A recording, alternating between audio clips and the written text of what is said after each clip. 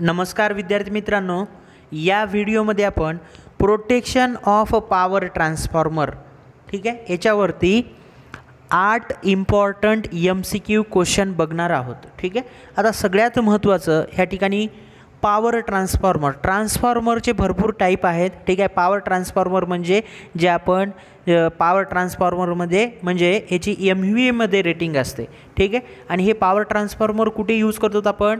मोठ्या मोठ्या सबस्टेशनमध्ये म्हणजेच कोणत्या सबस्टेशनमध्ये sixty six kil kilo volt सबस्टेशनमध्ये one thirty two kilo ओल्टमध्ये टू ट्वेंटीमध्ये ठीक आहे? Two twenty kilo volt substation जे आहे त्या ठिकाणी किंवा जनरेटिंग स्टेशन जे आहे त्या ठिकाणी फक्त एकाच ठिकाणी आपण स्टेप अप ट्रान्सफॉर्मर यूज करतो. बाकी ट्रान्समिशन आणि डिस्ट्रीब्युशन सिस्टीममध्ये आपण स्टेप डाऊन ट्रान्सफॉर्मर यूज करतो ठीक आहे? आता ट्रान्सफॉर्मर म्हणजे काय? ठीक आहे? ट्रान्सफॉर्मर म्हणजे काय आहे हा?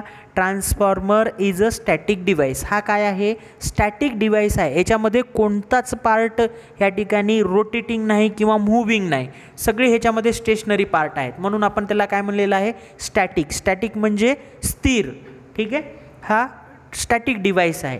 विच ट्रान्सफर हा काय करतो? ट्रान्सफर करतो. काय ट्रान्सफर करतो? इलेक्ट्रिकल एनर्जी कुठून कुठे? From one circuit to another circuit ठीक आहे? म्हणजेच काय? एका सर्किटमधून दुसऱ्या सर्किटमध्ये याला आपण काय म्हणतो? ट्रान्सफॉर्मर ठीक आहे? तर आता ट्रान्सफॉर्मर हा ट्रान्सफॉर्मर म्हणल्यानंतर बघा ट्रान्सफॉर्मर म्हणल्यानंतर तुम्हाला लगेच ट्रान्सफॉर्मरची इमेज दिसत असेल. त्या ट्रान्सफॉर्मर एक टँक असतो. त्याच्यामध्ये या ठिकाणी कोर असतो. कोरवरती प्रायमरी वाइंडिंग सेकंडरी वाइंडिंग ठीक आहे? आणि त्या ट्रान्सफॉर्मर टँकमध्ये ऑइल असते. ठीक आहे? तर आता ह्या ट्रान्सफॉर्मरचं आपल्याला प्रोटेक्शन करायचं आहे. म्हणजे ट्रान्सफॉर्मरमध्ये इंटरनल फॉल्ट होऊ शकतात. ठीक आहे? ए एखादे दोन वाइंडिंगचे टर्न शॉर्ट होऊ शकतात किंवा एखादा टर्न ओपन होऊ शकतो. ठीक आहे ऑइल कमी होऊ शकते ट्रान्सफॉर्मर टँकमधलं हे नंबर ऑफ फॉल्ट्स आहेत. किंवा एक्सटर्नल फॉल्ट होऊ शकतात. म्हणजे ट्रान्सफॉर्मरचे जे कनेक्शन दिलेलं आहे इनपुट आणि आउटपुट त्या साईडला ह्या ठिकाणी ट्रान्सफॉर्मरच्या त्या ठिकाणी फॉल्ट होऊ शकतात. म्हणून आपल्याला हे जे काही फॉल्ट होणार आहेत ते होऊ नये. म्हणून आपण काय प्रोव्हाइड करतो? प्रोटेक्शन प्रोव्हाइड करतो. ठीक आहे? तर या प्रोटेक्शन ऑफ पॉवर ट्रान्सफॉर्मरमध्ये आपण M C Q question learn करणारच आहोत पण त्याच्या मागची थेरी पण आपण लर्न करणार आहोत. विद्यार्थी मित्रांनो या यूट्यूब चॅनलला सबस्क्राईब केलं नसेल तर तुम्ही लगेच सबस्क्राईब करून घ्या. तर आपण फर्स्ट क्वेश्चन बघूया. Buchholz relay is used on ठीक आहे? तर बुकलोज रिले आपण कशासाठी यूज करतो? ठीक आहे? तर फर्स्ट क्वेश्चन आहे आता हा बुकलोज रिले म्हणल्यानंतर लगेच तुमच्या डोक्यात यायला पाहिजे. हा ट्रान्सफॉर्मरसाठी आपण यूज करतो. ठीक आहे? तर इथं चार ऑप्शन दिलेले आहेत. वेल्डिंग ट्रान्सफॉर्मर आहे एअर कूल ट्रान्सफॉर्मर आहे फर्नान्स ट्रान्सफॉर्मर आहे आणि ऑइल कूल ट्रान्सफॉर्मर आहे. ठीक आहे? तर बुकलोज रिले आपण कशासाठी? ऑइल कूल्ड ट्रान्सफॉर्मरसाठी यूज करतो. आणि तुम्हाला माहीतच आहे ट्रान्सफॉर्मर टँकमध्ये ऑइल काय यूज करतो आपण दोन पर्पजसाठी. त्याचे दोन मेन फंक्शन आहेत त्या ऑइल यूज करण्यामागचे. ठीक आहे? पहिला फंक्शन कोणता? त्या वाइंडिंगला इन्सुलेशन प्रोव्हाइड होते ऑइल असल्यामुळं. आणि दुसरा फंक्शन कुठलं? त्या वाइंडिंगला कूलिंग. त्या ठिकाणी ती वाइंडिंग कूल होते. ठीक आहे? म्हणजे कूलिंग पर्पजसाठी. ठीक आहे? मला सांगा ट्रान्सफॉर्मरवरती ट्वेंटी फोर आवर्सचा लोड असतो. ठीक आहे? इनपुट आणि आउटपुट. ठीक आहे? म्हणून त्या ठिकाणी कुठलाही एखादा इलेक्ट्रिकल इप इक्विपमेंट आपण ट्वेंटी फोर आवर जर ऑन ठेवलोत तर तो हीट होणारच आहे गरम होणारच आहे. टेम्परेचर त्या ठिकाणी प्रोड्यूस हीट प्रोड्यूस होणारच आहे. त्याच्यामुळे त्या इक्विपमेंटचं टेम्परेचर इन्क्रीज होणारच आहे. तुम्ही फक्त मोबाईल तुम्ही चोवीस तास कंटिन्यू यूज करून बघा तुमचा मोबाईलसुद्धा गरम होईल. ठीक आहे? फॅन चोवीस तास ऑन करा फॅन गरम होईल. ठीक आहे? हा तर ट्रान्सफॉर्मर आहे. ठीक आहे? याला खूप जास्त व्होल्टेज असते.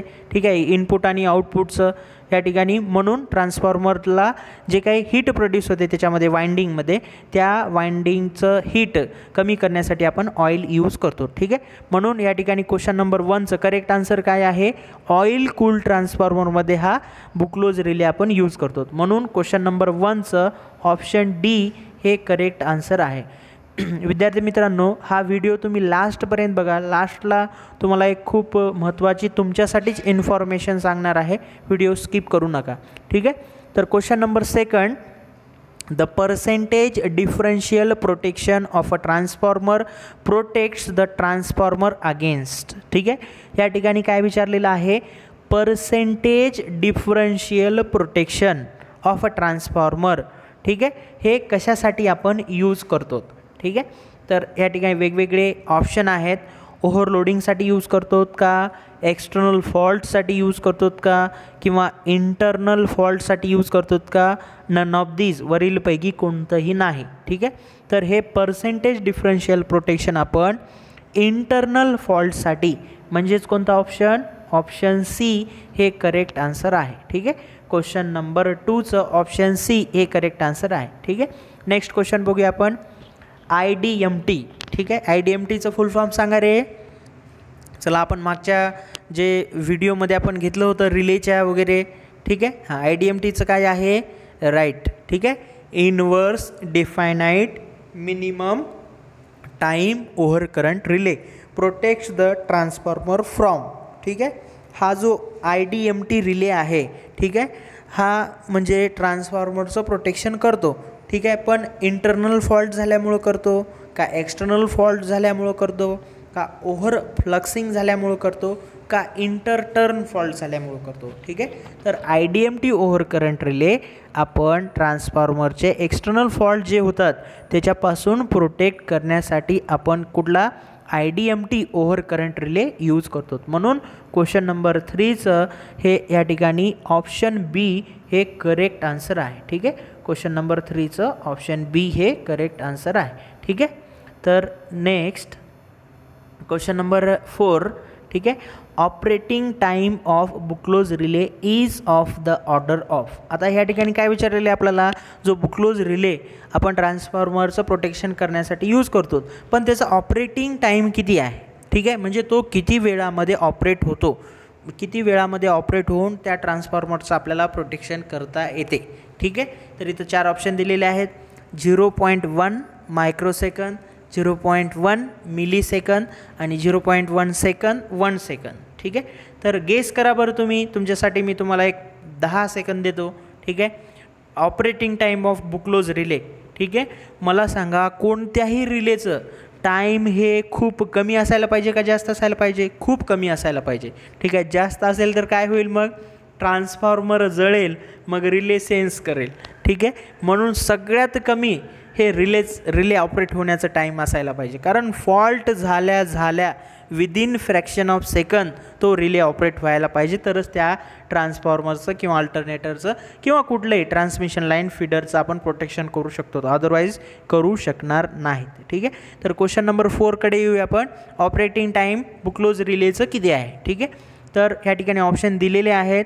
तर करेक्ट आन्सर याचं झिरो पॉईंट वन सेकंद आहे. ठीक आहे?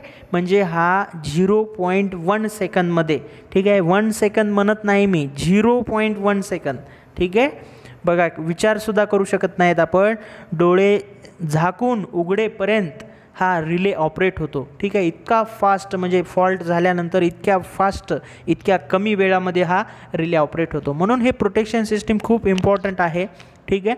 तर अशा टाईपचे क्वेश्चन एक्झाममध्ये आले तर तुम्हाला असे तुम्हालासुद्धा विदिन फ्रॅक्शन ऑफ सेकंद हे आन्सर तुम्हाला क्लिक करता यायला पाहिजे. करेक्ट आन्सर तुम्हाला शोधून काढता यायला पाहिजे. ठीक आहे? म्हणून क्वेश्चन नंबर फोरचं ऑप्शन सी हे करेक्ट आन्सर आहे.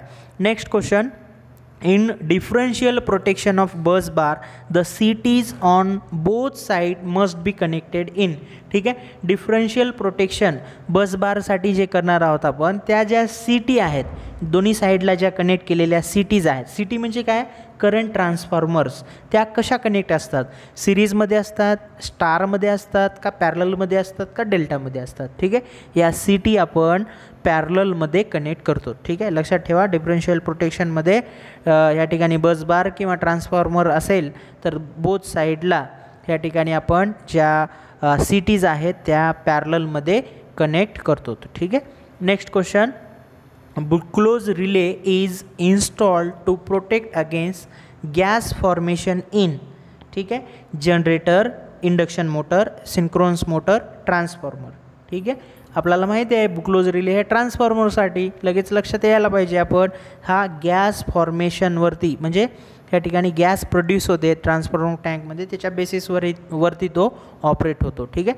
म्हणून क्वेश्चन नंबर सिक्सचं ऑप्शन डी हे करेक्ट आन्सर आहे. ठीक आहे? नेक्स्ट क्वेश्चन बघा Buchholz relay is electronic relay आहे का मेकॅनिकल रिले आहे? का इलेक्ट्रोमॅग्नेटिक रिले आहे का गॅस ऑपरेटेड रिले आहे ठीक आहे? बुक्लोज रिले हा गॅस ऑपरेटेड किंवा गॅस ॲक्च्युएटेड ठीक आहे? दोन्ही वर्ड येऊ शकतात बघा एक्झाममध्ये गॅस ऑपरेटेड आणि गॅस ॲक्च्युएटेड हे दोन्हीचं मिनिंग सेम आहे ठीक आहे? म्हणून क्वेश्चन नंबर सेवनचं ऑप्शन डी हे करेक्ट आन्सर आहे ठीक आहे? Next question overheating of transformer winding and of load are due to ठीक आहे? जे ट्रान्सफॉर्मरमध्ये ओव्हरलोडिंग होते ते कशामुळं होते? थर्ड हार्मोनिक करंटमुळं होते का थर्ड हार्मोनिक व्होल्टेजमुळं होते का फिफ्थ हार्मोनिक करंटमुळं होते का फिफ्थ हार्मोनिक व्होल्टेजमुळं? ठीक आहे? हा जो हार्मोनिकचा कन्सेप्ट आहे मी एक याच्यावरती व्हिडिओ बनवतो. ठीक आहे? म्हणजे तुम्हाला हे हार्मोनिक्स काय आहेत? थर्ड हार्मोनिक काय आहे? फिफ्थ काय आहे? सेवन्थ काय आहे? ठीक आहे? तर हे तुम्हाला हार्मोनिक्स आणि ह्याच्यामुळं का या ठिकाणी ट्रान्सफॉर्मरमध्ये ओव्हर हिटिंग प्रोड्यूस होते. याच्यावर एक स्पेशल मी तुम्हाला व्हिडिओ बनवणार आहे. फक्त आता हे एम सी क्यूचं आन्सर तुम्ही लक्षात ठेवा.